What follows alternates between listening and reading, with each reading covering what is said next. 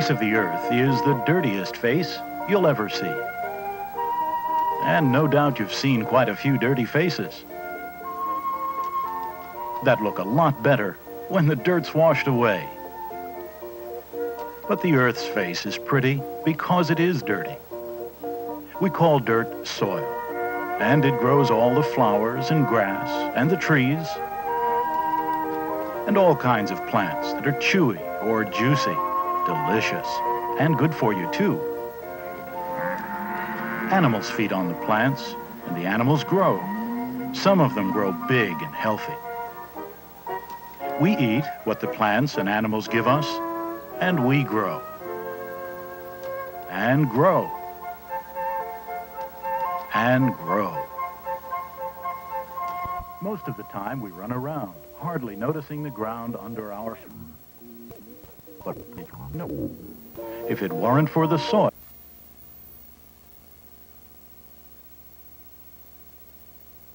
like these red foxes that need the plants the soil grows for food and shelter. But lucky for us and wildlife too, nature is busy making soil all the time. From the Earth's first volcanoes and earthquakes that formed the Earth's rocky crust,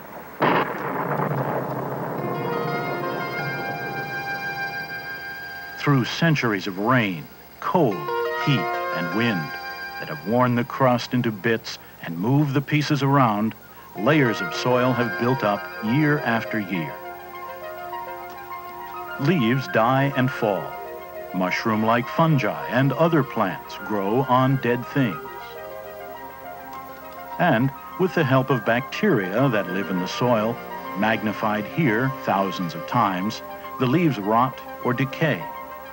All living things die and crumble into the soil, where trees grow tall and send out roots that do their part to break rocks into bits that add to the layers of soil.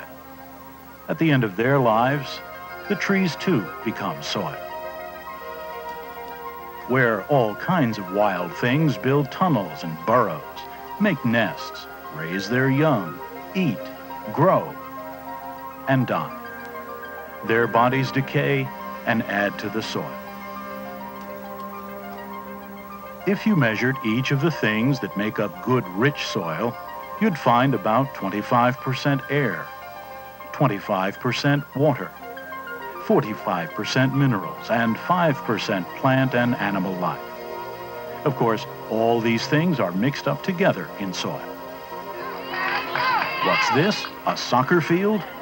When we're running around on top of the ground, it's hard to imagine what makes up the soil or what kind of life is going on under our feet.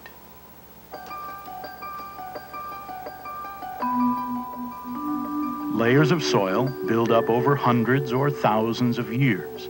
Different kinds of soils lie under forests, marshes, deserts, and prairies, each with its own kind of plant and animal life growing on or close to the top. If you've walked in the woods, you've probably noticed the ground is springy. Your feet bounce. Over your head, the trees spread billions of leaves that in the fall, fall and cushion the ground. Dig a hole, and you can see leaf-eating millipedes and dozens of other small insects and animals in the rich, moist, airy forest soil. Millipedes were probably among the first animals to leave the ocean for land, and they've hardly changed since those days. Earthworms live in many kinds of soil. Here in the forest and in your backyard too, they're the Earth's plowing machines, making air tunnels in the soil as they eat as much as they weigh every day. If you had 22 feelers on the end of your nose, you might rather live your whole life underground, too. This star-nosed mole uses its strong paws and claws to dig tunnels that mice and many other small forest animals use as roadways. The little deer mouse pops in and out of the ground, forever hunting for forest nuts and seeds. What it doesn't eat right away, it puts in its underground storerooms for later snacks. Marsh soil is cool and wet. It oozes up through your toes like toothpaste squeezing out of a tube. We may think a marsh is all water, but it's the mucky soil under the water that grows the grasses that feed many marsh birds, insects, and other animals. This is no marsh monster, it's a young dragonfly, called a dragonfly nymph.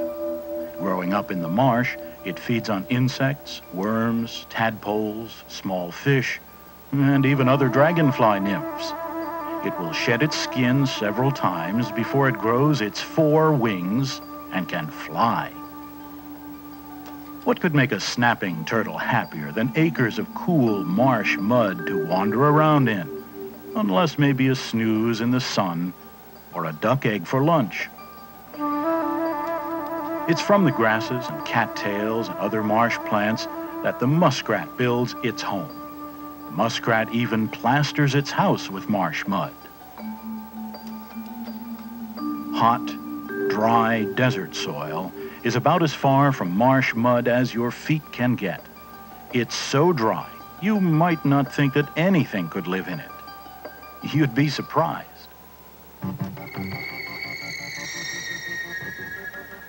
You could meet a tarantula.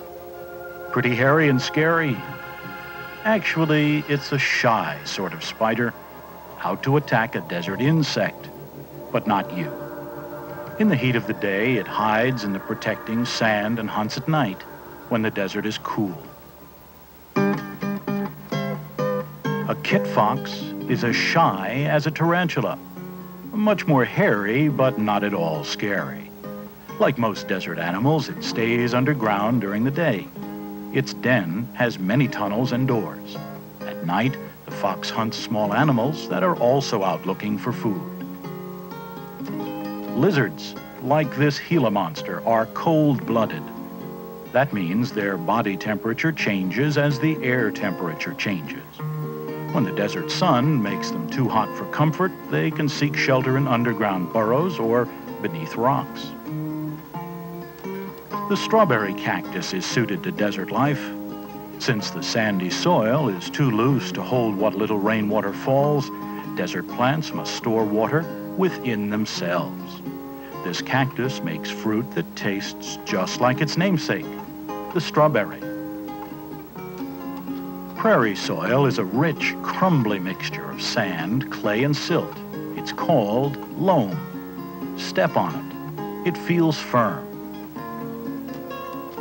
Grasses and flowers grow thick on the prairies. And many animals, like prairie dogs, which are really squirrels and not dogs, make their homes there too. Prairie dog towns are dotted with mounds of earth where tunnels link all the neighbors. They eat the grasses and herbs that grow close to their towns and line their nesting rooms with grasses as well. Most owls live in trees, but not these. They're burrowing owls, and they live in holes in prairie ground, often where larger animals have lived. The prairies that once fed great numbers of wild animals still feed bison and make a home for pronghorn antelope and other animals that need wide open spaces if they're to survive. We must keep wild places always for wild animals to make their homes. Thousands of other rich prairie acres have been put to work, raising millions of bushels of wheat, corn, and other crops. We sometimes call the prairie America's breadbasket because so much of our food comes from prairie land. But of course, farms all over the country grow all kinds of food so that you have your pick of what you want to eat. You can bet when it tastes extra good, it grew in good soil. You can tell good, rich farming soil by the feel of it. It's not light and dry like sugar or sand, and it's not heavy and thick like cream cheese. It's moist and crumbly, more like a handful of chocolate cake. Some of our soil is not in such good shape. When there are no plants to hold dry soil together, rains make gullies and ditches.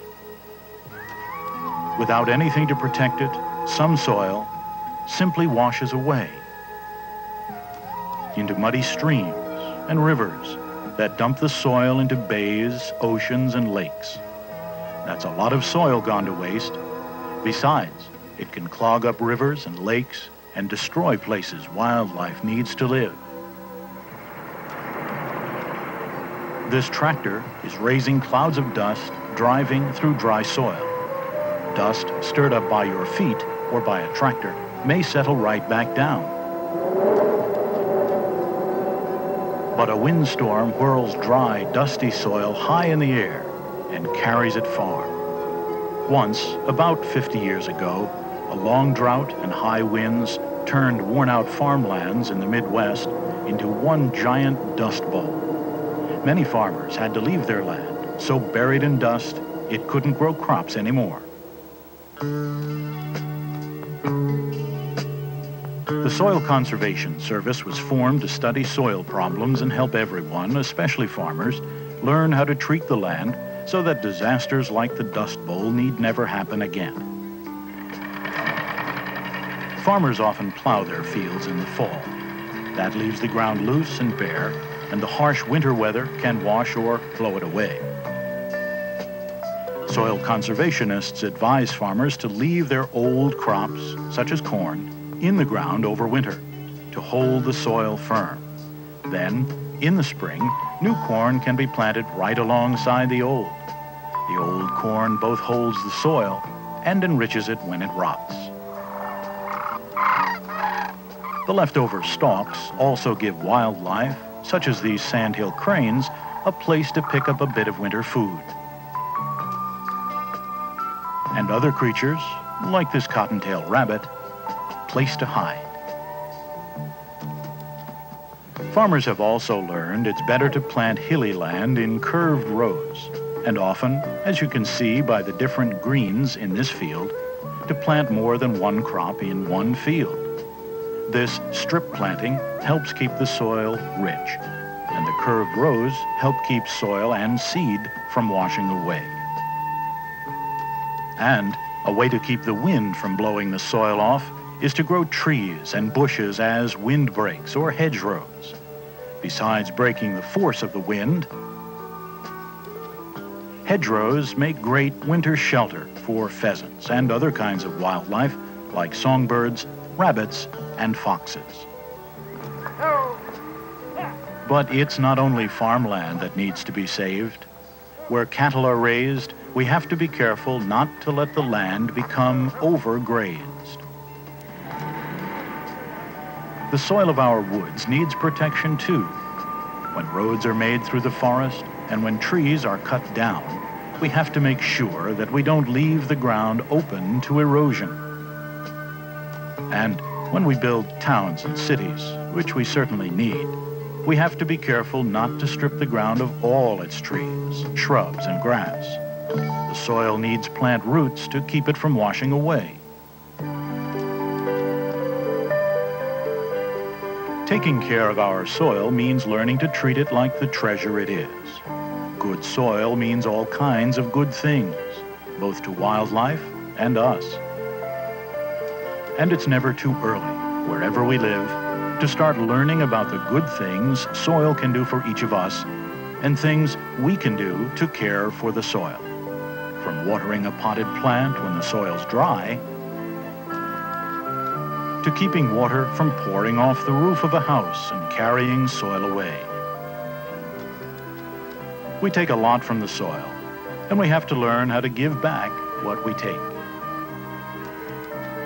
The next time you rake leaves, for instance, keep the leaf pile for compost to fertilize your garden next spring. And grow your own vegetables right in your hometown. If we all do our part, small and large to care for the good earth that nature took so many millions of years to form, the soil will grow the food the world needs for ages to come. If we care for the earth, every day can be a big Thanksgiving. Thanks not just for juicy red watermelons to munch, but also for apple blossoms to sniff. And for all the wild animals to share the ground with us. And even for mud puddles to play in once in a while. One of the best ways to show our thanks is to hand back to the world the rich earth nature gave us in the first place.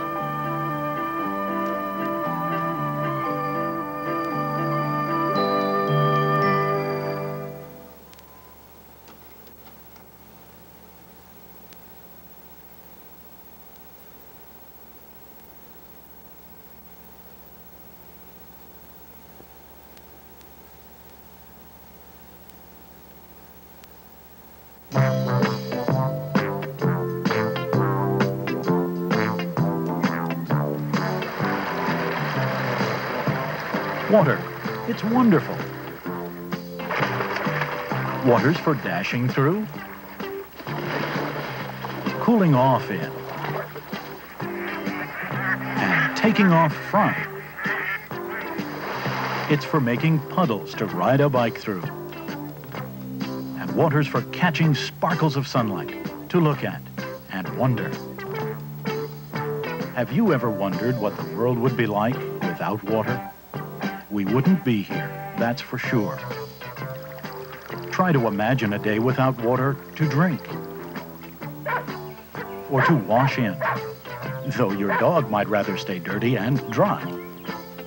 Every living thing, plant and animal, needs water to stay alive.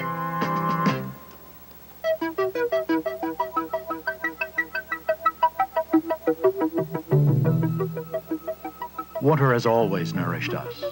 Dinosaurs once roamed their rich, primitive marshlands, gobbling tons of plentiful, water-grown food.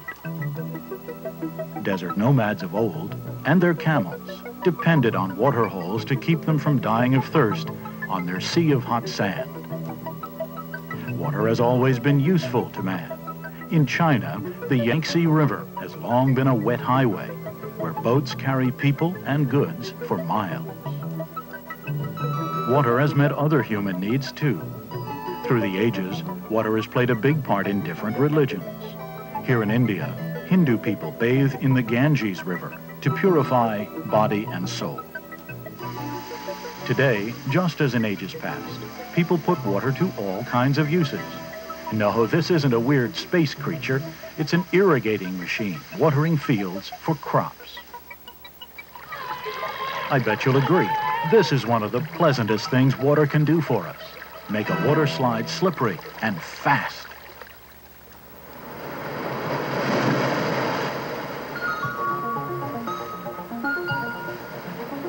It's hard to imagine we could run out of water when we know that three-fourths of the surface of the Earth is wet.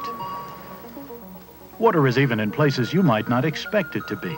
Apples, for instance, they're so crunchy and crisp, but they're 84% water. Thump yourself on the leg. Pretty solid. Would you guess that about two-thirds of your own body is water? With water everywhere, and part of every living thing, how could we ever run out? Well, so far, in most places, there's enough water to give your flowers a drink. The big question is, will we always have enough clean water to do all the things water needs to do for the world? In power plants, thousands of gallons go through huge turbines like these to give us electricity. Millions of gallons more are used in factories and on farms. Rivers don't flow everywhere, so we try to spread water around. The Colorado River is being drawn off in so many directions, its southern end sometimes dries up before it reaches the Gulf of California. We have to remember, there's just so much water to go around. And even though nature helps water recycle itself, we have to do our part so that nature can do its job efficiently. Here's how the water cycle works, naturally. We're under a thundercloud. That means rain's on the way. Some of us don't bother to run for cover. Some of us say, who cares? Let it rain. Some rain falls into water. Some soaks into the ground, as if the soil were a sponge. The water seeps down, down, cleaning itself on the way of most impurities as it trickles to underground rivers and reservoirs. Some of the purified water surfaces in a spring where a fawn might take a crystal clear drink. Springs may become streams that flow into rivers. Lakes are fed by both rivers and springs, and by rain, of course, too. Rivers run into the sea, but the water cycle doesn't end there. The water's journey, in fact, has no real end. The heat of the sun constantly draws moisture from water and land. Plants sweat. You perspire too. All that wetness goes into the air. Up high, the water vapor drawn up by the sun cools, making clouds form. And pretty soon, up go our umbrellas. The same total amount of Earth's water goes up, down, and around year after year after year.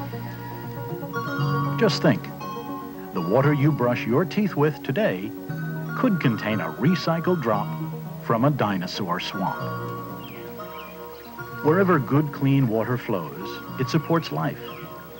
A mountain stream is home or habitat to a crayfish that moves forwards and backwards as it feeds on snails, the young of insects, and small fish. Many plants, insects, fish, birds, and other animals depend on the stream for food, drink, and shelter. Small minnows dart camouflaged through flickering shadows. A mountain bird called an ouzel or dipper will dive straight into a rushing stream to catch water insects. Sometimes dippers build their mossy nests behind waterfalls. Lucky for this bighorn sheep, many streams start high in the mountains, providing water for the world's best mountaineers, the bighorns. Pike, trout, and other fish abound in the streams, a great place to go fishing, with or without a canoe.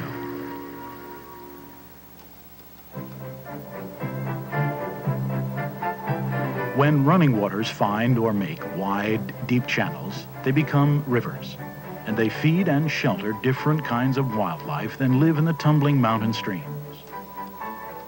In rivers, you'll find bluegill sunfish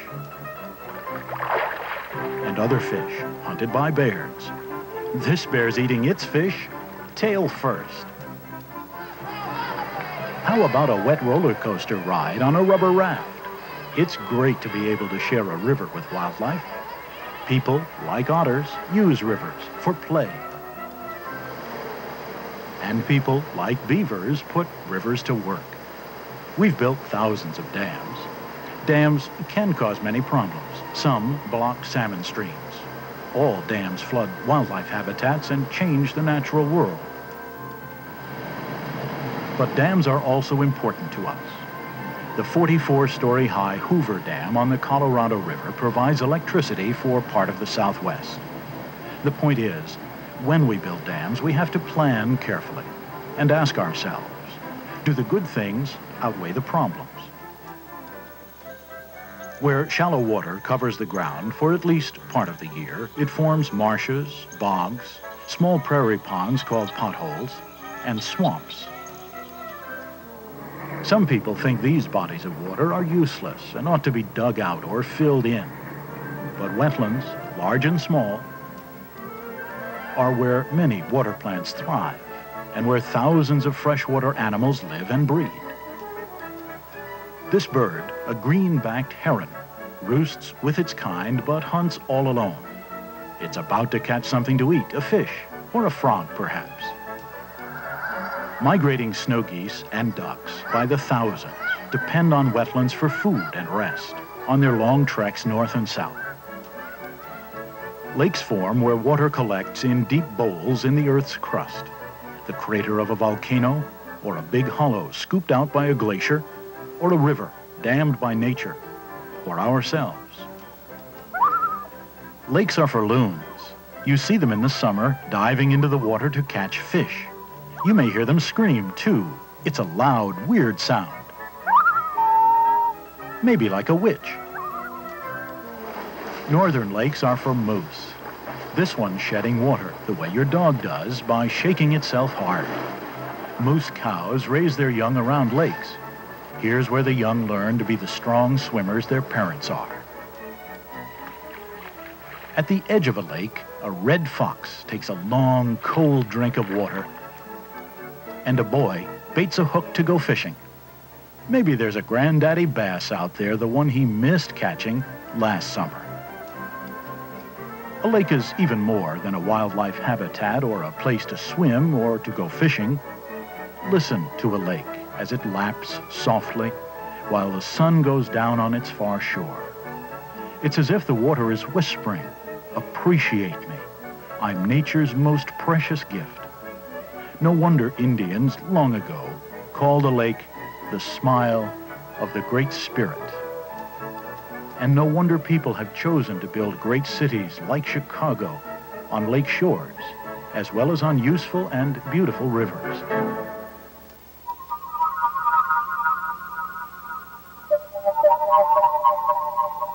It's hard to count all the ways water serves us, but water is why we live on Earth instead of the waterless moon. The moon gives us a bright, lovely glow, but the Earth's water gives us life itself. How can we possibly treat our water unkindly? Rivers and lakes aren't meant to be junkyards for shopping carts, old tires, and such, or for chemicals and other poisonous stuff that may be less ugly than junk, but is far more harmful and hard to get rid of. By the year 2006, about 7 billion people will be using the Earth's water supply. That's almost one and a half times as many people as live here today. Many of those 7 billion will be us. We don't want things to come to this, where even a bluebird has trouble getting a drink because we're using water faster than nature can recycle it.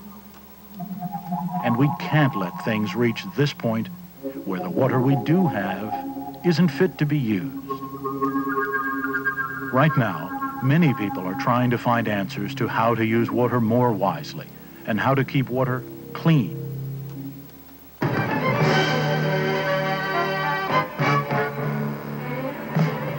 Groups like the National Wildlife Federation are working with Congress to get new laws passed and enforced to protect our water supply and to encourage everybody to learn about water, respect water, conserve water, and to obey the water laws already passed. There is progress.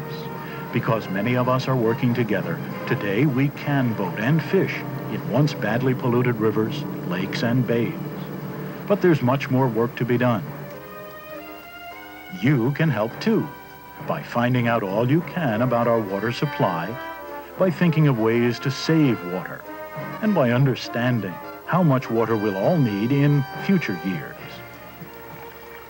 One of the best ways to understand the nature of water is to get to know nature firsthand. Here's a young fellow taking a very close look at water life. Nature makes beautiful sense in countless ways. When you hear water, you know you are listening to the rhythm of life. All growing things must have water.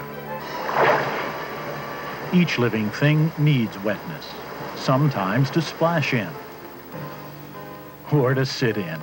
Some days you'll do anything to get wet. We can all share our water, always, if each of us makes nature's way our very own. Nature is forever telling us we're all here together, under the sun plants, animals, earth, air, and most important of all, wonderful, life-giving water.